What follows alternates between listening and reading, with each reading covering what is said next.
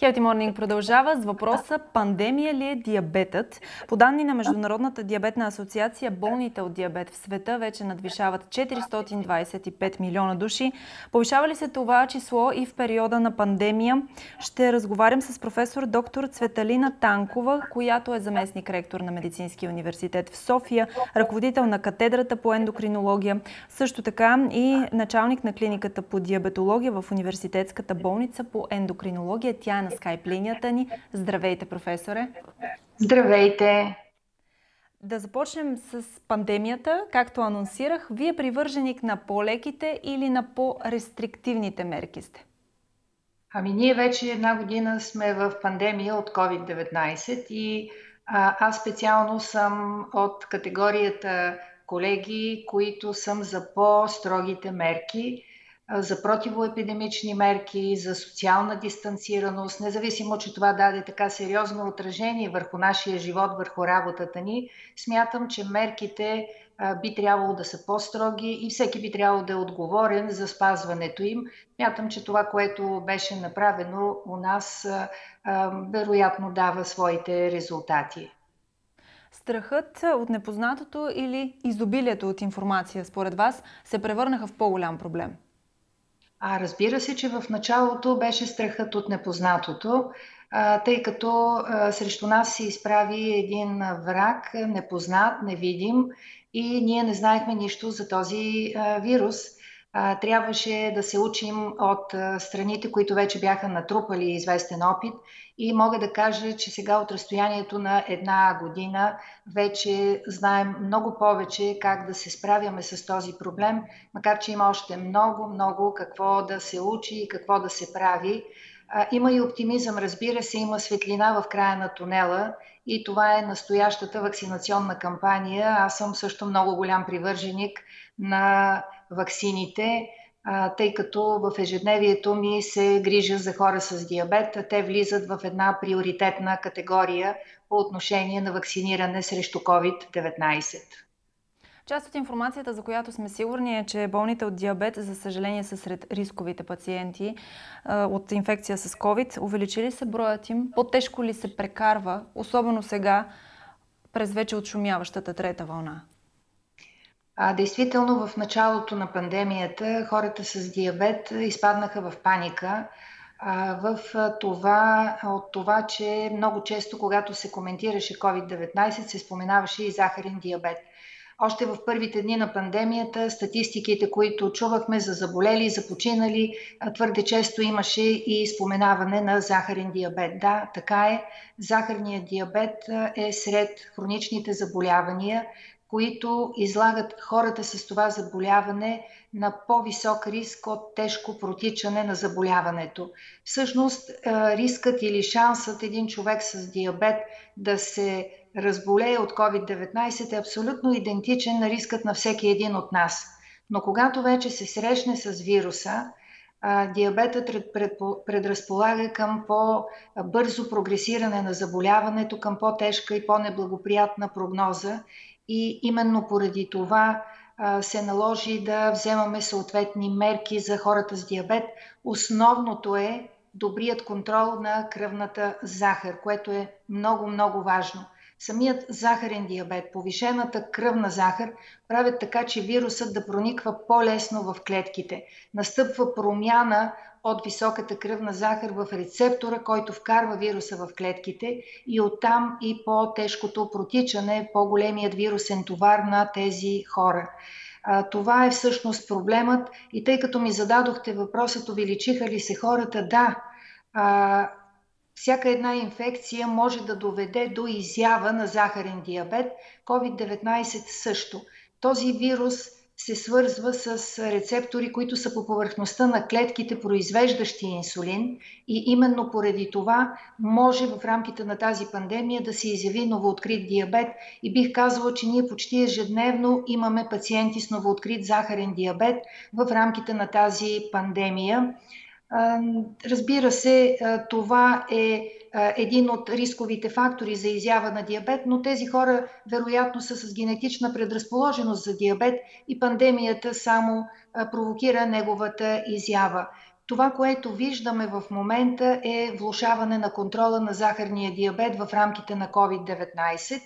Виждаме дългото протичане на COVID-19 на терена на пациента с захарен диабет и а, Нещо друго, което бих искала да споделя е, че практически почти всички пациенти в нашата клиника, която е специализирана за лечение на пациенти с диабет, почти всички наши пациенти в момента са пациенти, които вече са преболедували COVID-19 и хора, които а, имат а, определени проблеми с контрола на диабета, някои други осложнения и именно поради това идват при нас, за да можем да оптимизираме терапевтичния подход. А, така случай, че... можете, да ни, можете да ни кажете повече за точно този терапевтичен подход. Различно ли е лечението? Има ли проблем с някои от медикаментите, с които се лекуват болните от коронавирусната инфекция, която, когато хората имат диабет? А, не, в началото се споменаваха някои медикаменти, които се оказаха не толкова ефективни при COVID-19, по-настоящем с терапията, която се провежда за COVID-19, реално антивирусната терапия не дава неблагоприятен ефект, неблагоприятно отражение върху захарния диабет, но един много висок процент от пациентите се лекуват с кортикостероиди и всъщност известен е така наречения стероиден захарен диабет, диабет, който може да се провокира от продължително лечение с кортикостероиди. Тук това лечение не винаги е толкова продължително, но в хода на лечението се повишава нивото на кръвната захар и всъщност това налага в много случаи промяна на терапевтичния подход. Кръвната захар се повишава, повишава се кръвната захар след прием на храна. Когато пациентът е хоспитализиран по повод на COVID-19, когато е на кортикостероиди, когато е в обредено състояние, средство на избор е лечението с инсулин.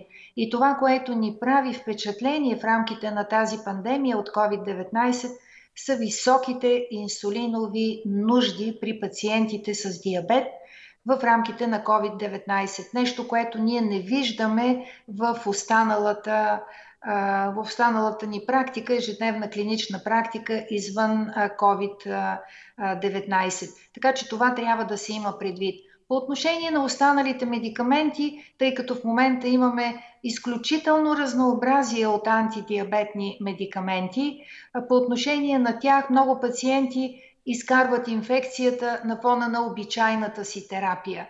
Появиха се данни, че метформинът, който е един широко разпространен медикамент за лечение на захарен диабет, когато пациентът е с COVID-19 и продължава тази терапия, се подобрява прогнозата на COVID-19.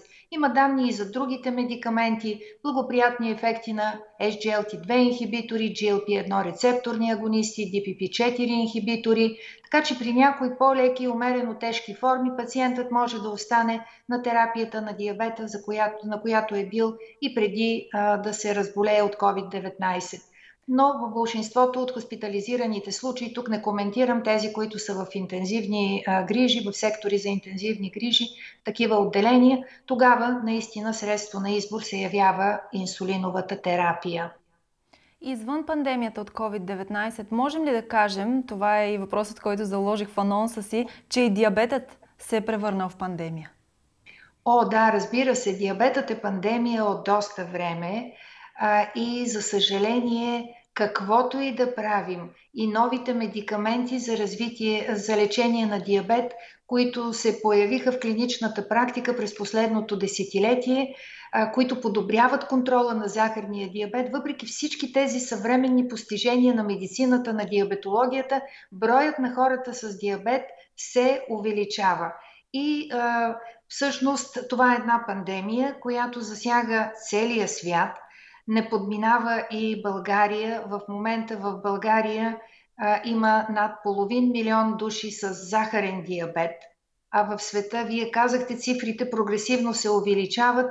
463 милиона са в света. Очакваме тези милиони наистина да надхвърлят 700 а, след около 20 години, което е едни много, наистина много сериозни цифри, които не подминават никого, не ни подминават и нас.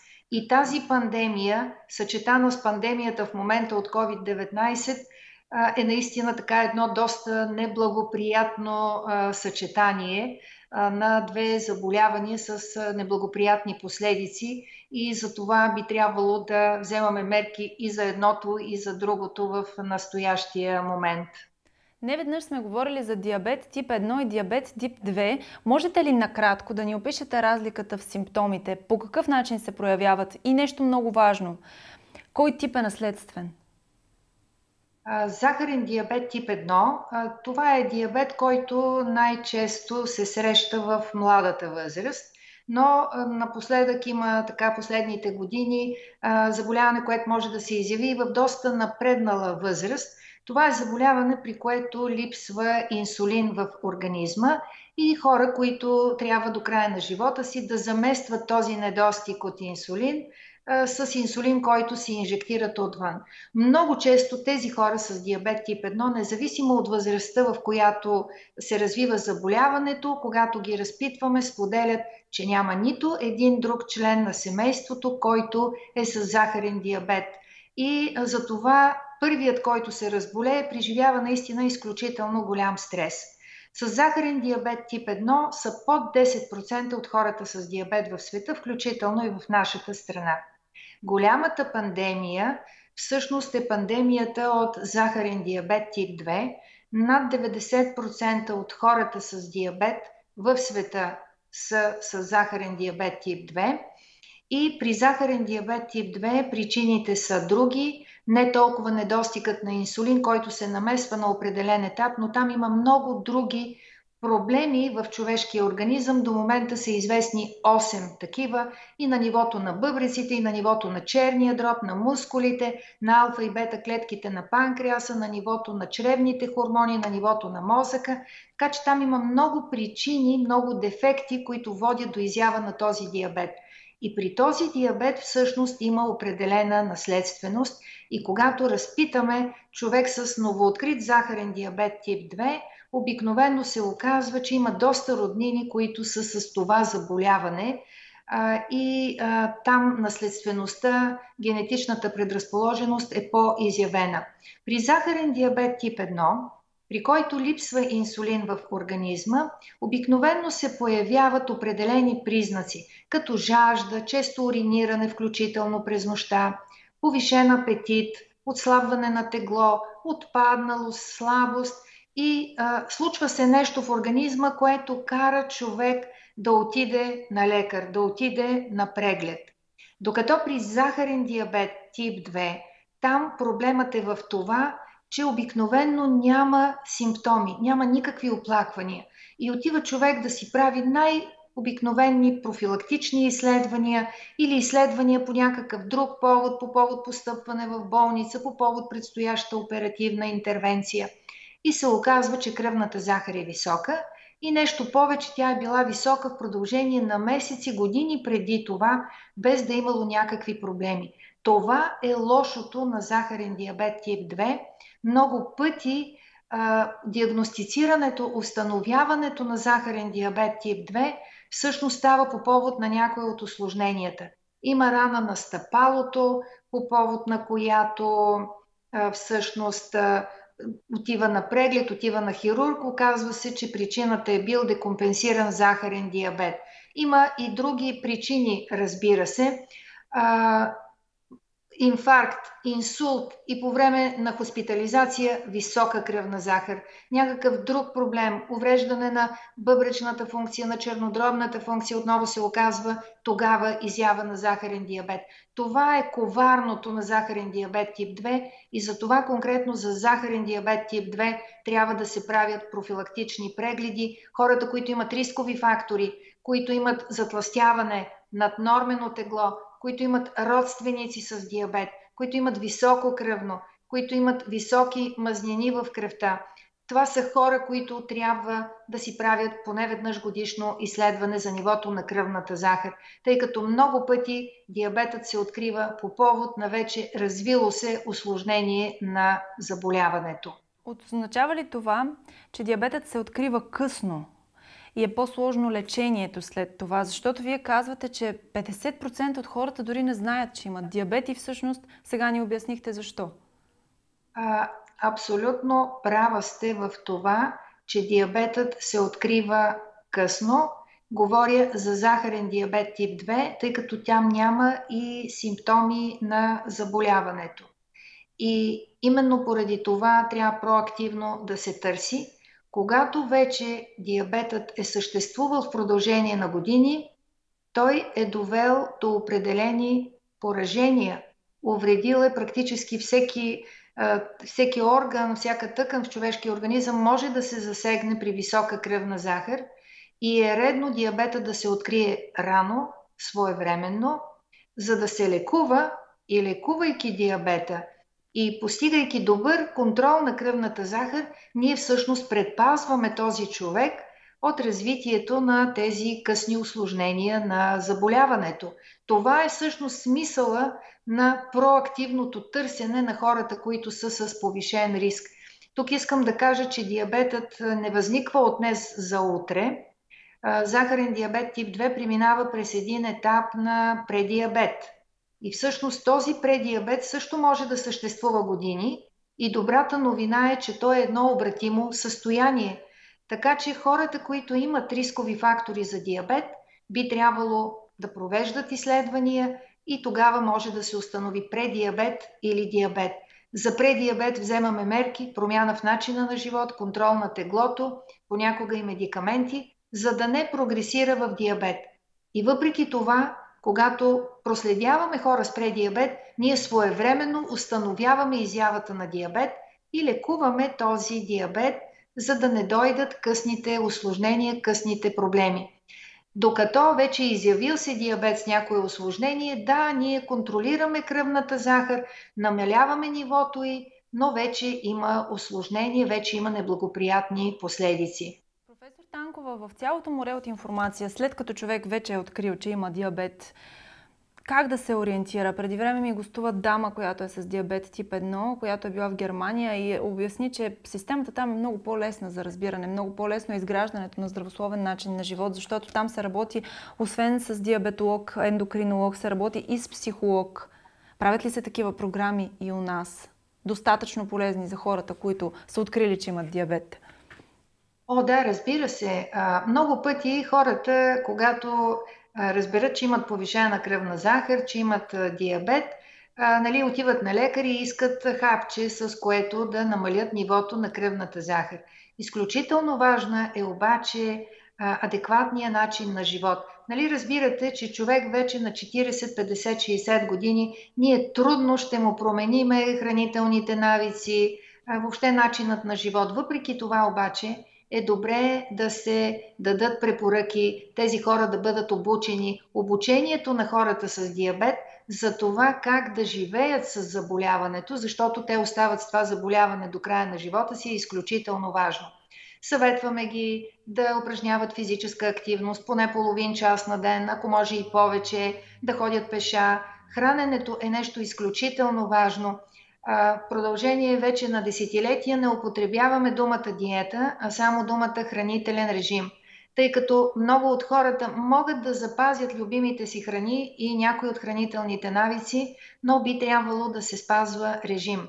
Дългите периоди без хранене, храненето веднъж на ден, това може във времето да се отрази неблагоприятно на захарния диабет, разбира се и на теглото.